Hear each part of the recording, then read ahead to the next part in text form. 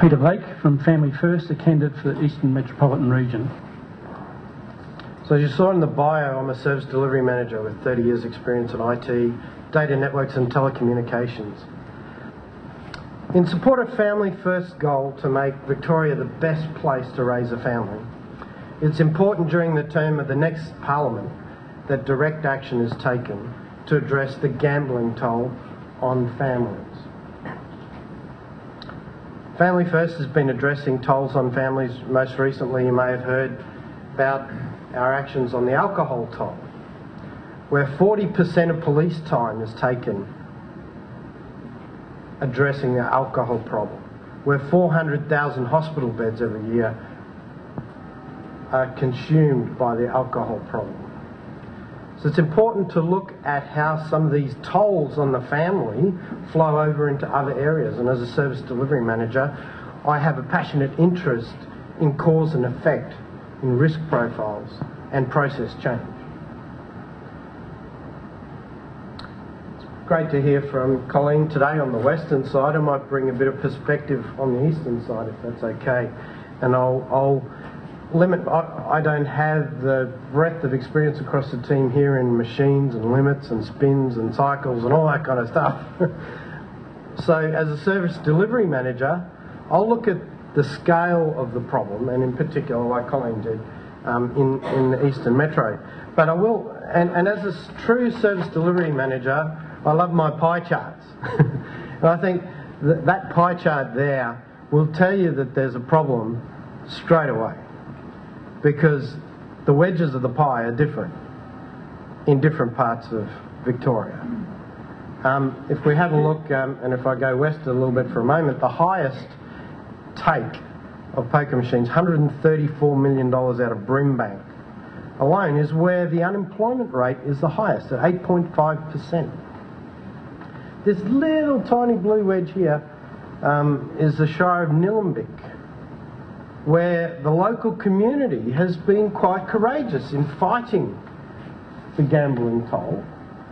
And the unemployment in that part of Victoria is only 2%. Now, you might say, oh, you're oversimplifying it, but if you go down the list and stack rank it, you can see the unemployment rate. It tells a very interesting story against the poker machine take in those areas. If I look at uh, Eastern Metro and, and, my side of town for a moment, we look at Monash, Casey, Dandenong, Knox, four top areas there. Out of the $2 billion, the gambling toll in Victoria, those four cities account for $438 million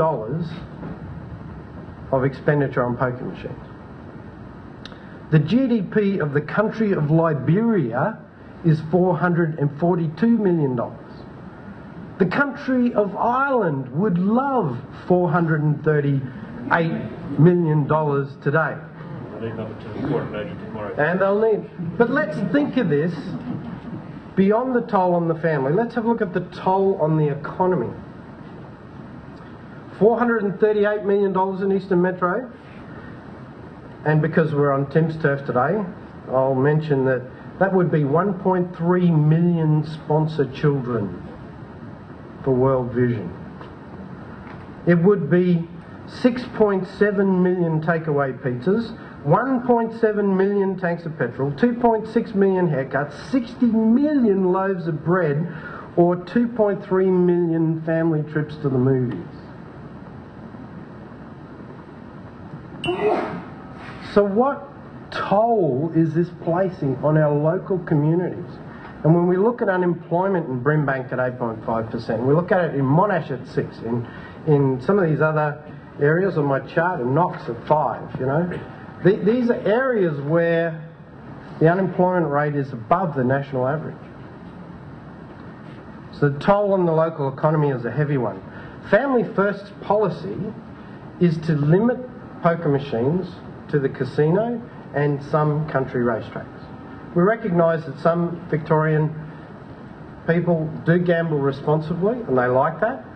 Recognise that international events having a connection with a casino can be a tourist play card in that area. The Family First recognises that in going to those venues, people are more likely to be with friends, they're more likely to be going for a specific reason, and they're more likely to have peers around them while they're there to support and protect them. State government has introduced a number of controls which largely relate to caps, the proximity of machines to ATMs, and whilst we welcome that, we definitely believe not enough is being done. If I'm fortunate enough to be granted a place by the Victorian people in the next Parliament, I look forward to working with my colleagues to make sure that the times ahead, Tony, are not ones that include gambling our future. Let's get the pokies out of the suburbs.